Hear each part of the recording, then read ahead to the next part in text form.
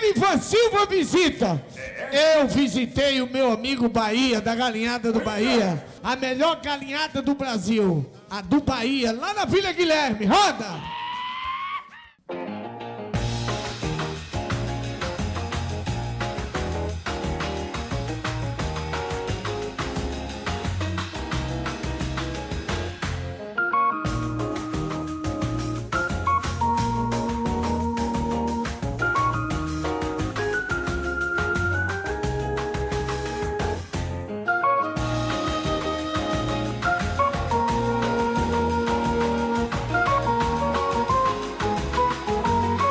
Nerivan Silva visita hoje um tradicional ponto de São Paulo, 24 anos de história.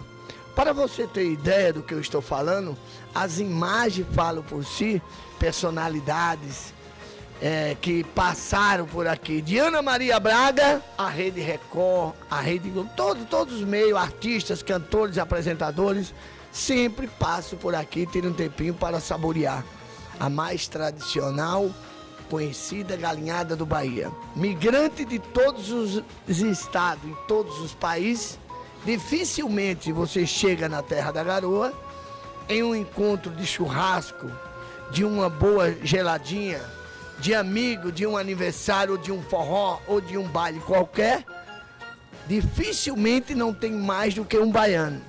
Há-se a história que tem mais baiano do que nordestino. Assim diz a lenda. É como diz: mineiro sem queijo é peixe fora d'água. Baiano sem estar em São Paulo não é baiano. Um dia bebeu água. Ou é aquela velha história.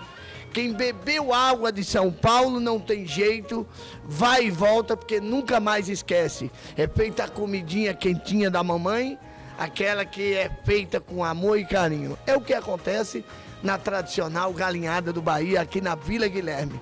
Estamos aqui na galinhada do Bahia. Meu amigo, o chefe baiano,